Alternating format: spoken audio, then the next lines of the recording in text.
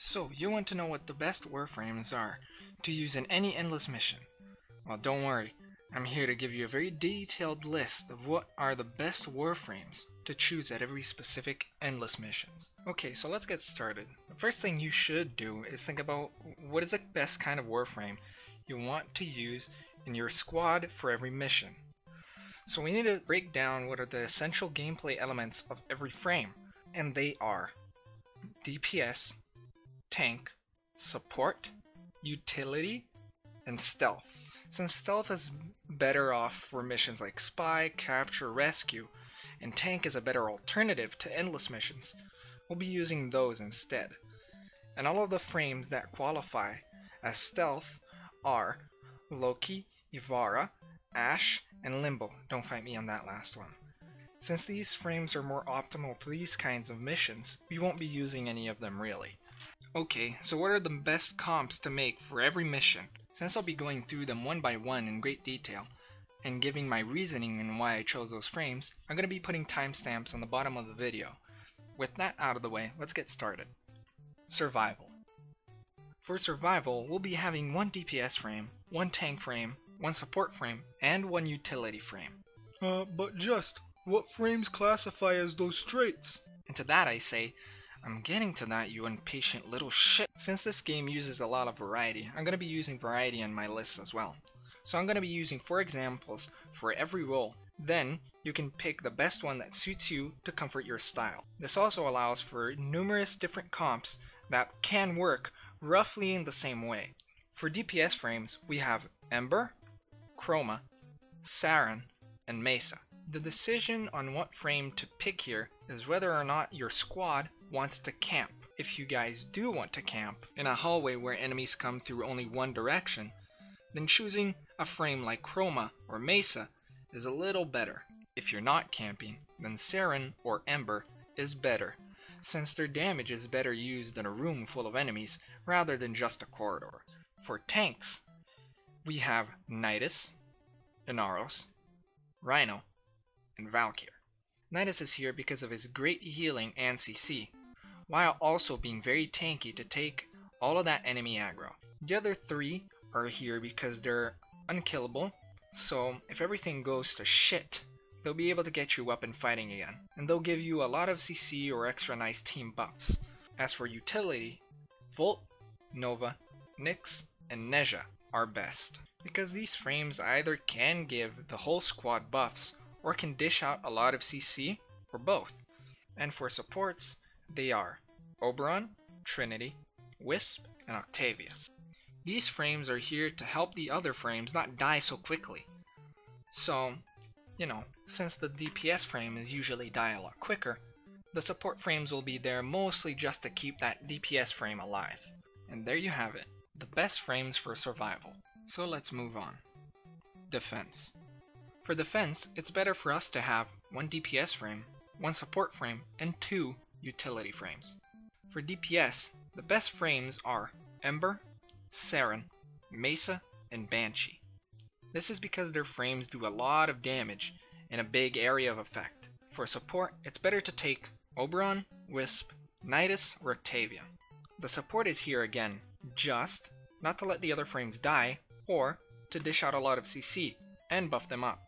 For the two utility frames, you can take either Frost, Gara, Khora, or Nova. While you can't take two Frosts, or two of the same frames, it's better just to combo them up with a Nova. That's why she's here.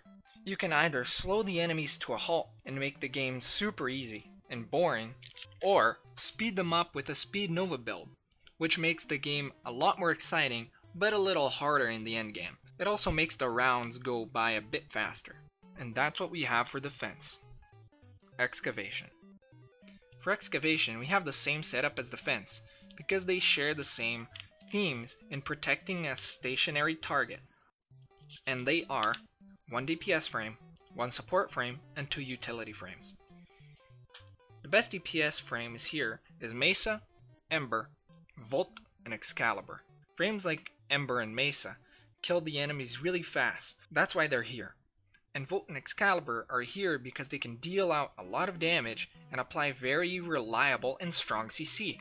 For the support frames, we have yet again the frames that don't let you die so quickly, which are Oberon, Wisp, Trinity, or Nidus. And now the two utility frames can either be Frost, Vauban, Nova, or Gara. Here again, while you can't take two Frosts, it's better to pair them up with a Nova or a Vauban. This applies to any frames. It's just better to have different utilities and abilities than to just have the same two frames do the same things. Interception. For this, we need two utility frames, one support frame, and one tank. This is because there's no real reason to kill the enemies in here. This is because the game has a cap on how many enemies can spawn in the map at once, so that the game doesn't crash. We don't need a DPS frame that can die really quickly and get overwhelmed. It's better to trade them for a tank that can't die and who can also give buffs and CC to the whole team.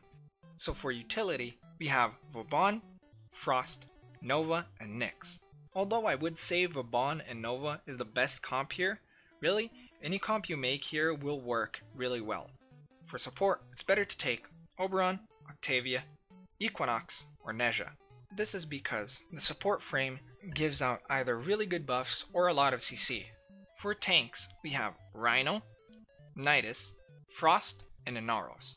Frost is here again because he can work as a tank while also being very useful with his bubble and freeze. Sanctuary Onslaught.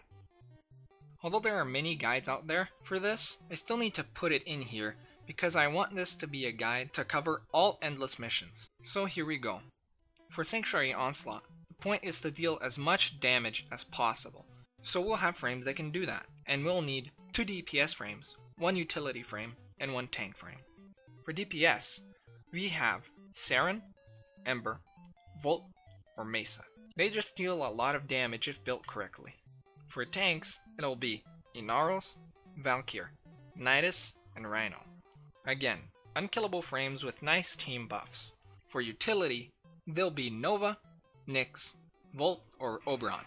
Oberon and Volt are here not for support or DPS, they're both here for CC, so just a lot of range and duration on your builds for these two. Defection. For Defection, the best comp of frame types are 1 DPS, 1 support, and 2 utility. For DPS, it's better to go with Saryn, Volt, Ember, or Mirage.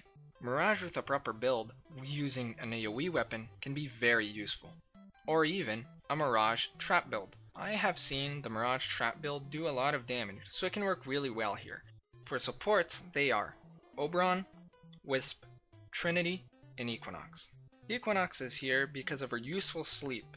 Use that a lot if you're going to play with her. As for the other three, they're here just not to make the rescue targets not die so fast.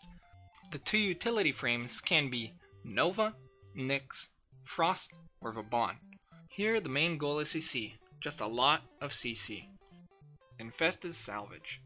For Infested Salvage, you just need to keep enemies away from you and the three computers, so there's no need for a tank or a support frame here. So two DPS frames and two utility frames will be all you need. For DPS, there'll be Volt, Ember, Mesa, and Saryn. Just damage, damage, and a little bit more damage. For the utility frames, Frost, Nova, Vauban, and Khora are best. You know, CCs, slows, all of that good stuff. Disruption. So for what basically is an endless mobile defense, we'll take the same frame types as defense missions, which are one DPS frame, one support frame, and two utility frames. There's no difference in the support and utility frames, so I'll just put them here first.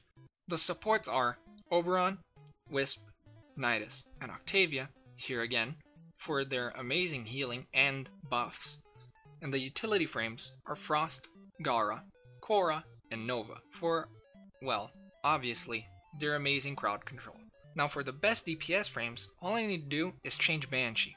Banshee's not as good with moving targets, and in this situation, Volt works best.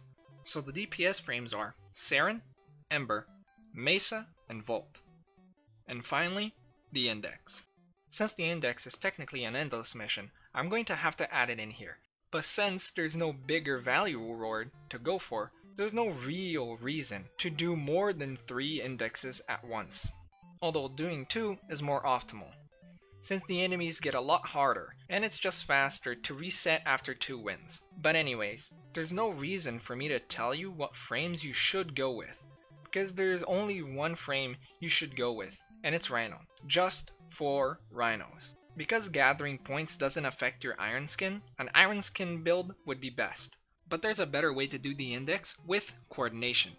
Instead of 4 Rhinos, have either a Slow Nova or a Mesa, just to kill enemies and have them mark points so that the other 3 Rhinos can pick them up. This makes the game go a little faster, which is nice since all you need to do is win as fast as possible. And that's it. All endless missions with the best team comps to make you hit those high-end level rewards the best way possible. Thank you very much for watching, and goodbye.